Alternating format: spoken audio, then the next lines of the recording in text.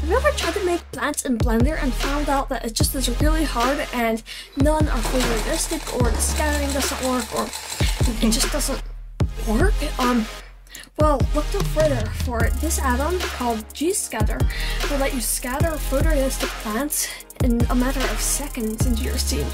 So it's actually really cool. So just go ahead and create a Graswald account and download the 3G scatter. It comes with a bunch of assets already. So you can go to edit and um, then let's see, edit preferences, and then you can just install it.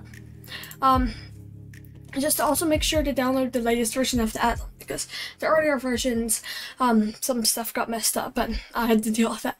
So, uh, so what we're gonna do so you can um enable it and um and, and then you have to create a folder in your documents called gscatter and then if you download more gscatter files .gscatter um it's a file extension that comes with more um, plants that you can use. So you can download like big libraries so a lot a lot more stuff but you get a base library that comes with the add-on.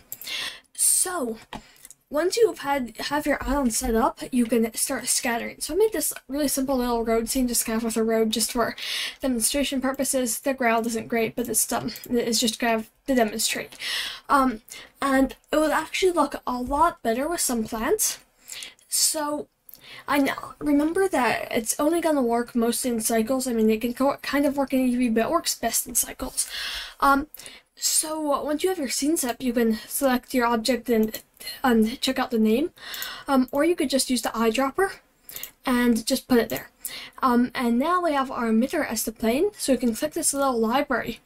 And you see we have a lot of assets. I downloaded the, the, uh, the paid version of um, the library, but that comes with a lot more stuff. But you get a lot of stuff like um, like some basic grass, um, and it's just a bunch of things. Okay, so there are a lot of features of this add-on that I want to go for. So let's start by scattering something kind of basic. Uh, this isn't going to be that exciting, but a little bit of um like dead sticks and stuff will look really good. So I'm going to do a low level of detail because that's um so, so that you can have more of it. And if you're doing a real close-up, you might want a high level of detail, but low level of detail will work well for that. You can turn up the density, and if you can't see them at all, you can go to the scale. So there's dis distribution, scale, rotation, and geometry. Um, the scale is um, it, you can um, just turn it up, and then and then you should be able be able to start to see you have some sticks there. So uh, obviously yes, that obviously doesn't look that good. So we're going to start adding more plants, basically layer by layer. Every time you want more plants, you just click on it again. So I'm going to add some woody debris, um, needles, um, and, um, and just big. Um, I'm going to add some moss, white moss dead and white moss green. I'm going to add some wall barley. Um, um, you can research particularly biomes and stuff like that so you can kind of get something really accurate, but I just am going to, hmm, I, live in the woods, I, I sort of know about plants and where they like to grow together and stuff. Um, so I just, I'm gonna aim for kind of just a roadside kind of scene, so I'm gonna turn up the density of those little leaves. Um, maybe not too dense because we already have the PBR texture with the leaves. Um, I want more of these little grass tufts because I, I like them. I'll just turn the scale up a bit. Um, and yeah, that's...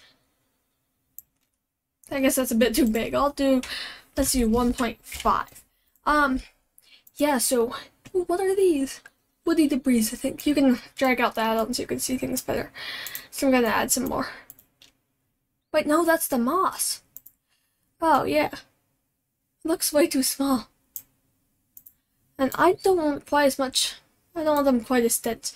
Um, and here's another really cool thing. You can add like different um, masks, so, like different textures, um, slope, the like um, the more like if if you have a the the slope effect makes it only grow on flat places. Um, there's a, an, a weight mask. I'll talk about that a bit later. But for now, um, I think I'll do a Musgrave. Ooh, cool! Look at this. So you can basically see the Musgrave. Um, oh, I don't know really how to explain this, but it's like, oh, let's see. Um, it'll it'll basically make this stuff pop up in in, in, in that texture. It's it's hard to um explain, but And uh, I think I like that a bit better. So, so that essentially makes it like almost Musgrave. So like where it's black, there will be um the moss, and where it's not black, um, uh, uh you, you can probably figure it out if you try. I just gonna add some more woody debris. Um, I don't want just that wall barley. Um, let's see. Oh yeah, I want stinging nettle. I'll do um. I want some dead stinging nettle. And I want some big stinging nettle, and I also want some sycamore maple, like little sprouts. Um. Oh, cool. There's so many. Let's see. Maybe some red clover. And some red clover flower. Let's see. Um. Yeah, th this, um, this is fun. A bit of um, plantain. Let's see. Kentucky bluegrass flower. Um, oh, ground elder. I love this one. Reminds me, um, I went on a hike yesterday and saw six snakes. It was, it was, it was like a lot more than I usually see. Wait, did I say tomorrow? I went on a hike tomorrow? Uh, I meant yesterday. I'm sorry, I'm tired. Um, okay. Oh, the, that, that, um, the ground elder really does that. It, it that, that, that's beautiful. I have the noise on, so it kind of, um, makes it look a bit worse. I want a bit more Kentucky bluegrass flower. And yeah, look at that. That is really cool. Okay, so, and it's best, it's best like, um, I like to keep uh, things a bit modest, um, like, and, and, and try to keep us, try to yearn for variety, but, like, so, sometimes it's best to it's sometimes it's, it's just best like um do a few kinds of plants. And and and you can really easily create like um all sorts of different biomes. And um here's another little tip. If you take your emitter object and then you um and, and you scale it you can um if you scale it down there will like um there will be less. And if you scale it up it will make more. So I, I just thought that was kind of cool. Um it's a bit different than I don't think yeah particle systems don't do that and it's just like an even distribution. Um, I guess the next thing that I was going to mention was weight masking. Um, so let's just take all of these off. Um, and I really like that, but weight masks are really important. So I'll just take the ground elder big because I just really like that one and you can and it's really easy to see and I'll set the density to like two or so. And then I'll add a weight mask um and then we're gonna go to the paint and like paint you can see it's it's only where we paint. So um, yeah so this little paintbrush icon takes you into weight paint mode and then, then you can just paint around to where you want them. So I don't want those to be that close to the road because I doubt ground elder likes the road too much. Um and yeah, if you, if you want it not to be in a certain place, you could um do weight paint with zero.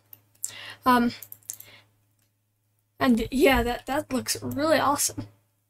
And, and like the, the weight painting just makes it so that like it only grows mostly in one region, and that can be really helpful.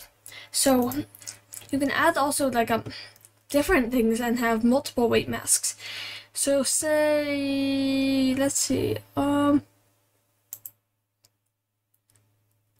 I'd say some red clover um, would be really good right in the foreground. So I'll add a weight mask layer and then um and then it automatically creates a new group when you do another um layer.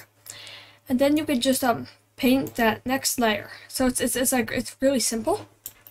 And oh. Um oh yeah, I was using these trees to create shadows. It was really cool. Um yeah, so I'm just going to paint in the foreground right here. Maybe a bit up here too. And yeah, I'm, I'm liking this. It's, it's, it's looking, um, uh, I, actually I can't really see that much, um, what's going on. um, yeah, I'm gonna turn up the density so we can see better. And then you can see it's, it's like really obvious now. And, and I mean, it's, it's pretty obvious how effective the weight masks are. So if you, you could add like, um, a Voronoi texture and like stuff like that. Um, wait, uh oh, what did I do? Wait, I completely destroyed that. Oh, no, no, I didn't.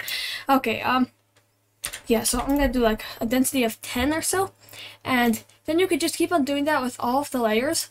Um, you can actually do the same thing on scale, so like, um, you could do weight mask, and when, when you paint, things will be bigger than everywhere else. Um, let's see, is there anything else that I need to mention with this? Um, ooh, oh yes, camera cooling. Uh, not cooling, culling. Um, you can go to optimization and then camera cooling, and um, everything just goes away. But the cool thing is, um, you can select the camera. Um, actually, you could just use the active camera, and now um, let's just lock our camera to the view. Let's see. Um, view, lock camera to view. Um, and now with the camera culling on, you can see it only um goes where the camera sees. So um, let's see. Um, the, yes, the focal length is 50. You want you want the focal length to match, um, and also the sensor size. So now you can see, and um, let's just go into solid view. Oh, yeah, I think, I think we want a bit greater of a focal length. Um, yeah, yeah, so now can't see anything. Um, but so now it just looks like we have all of our plants here. Yeah, it's, it's hunky-dory. All of our plants are here.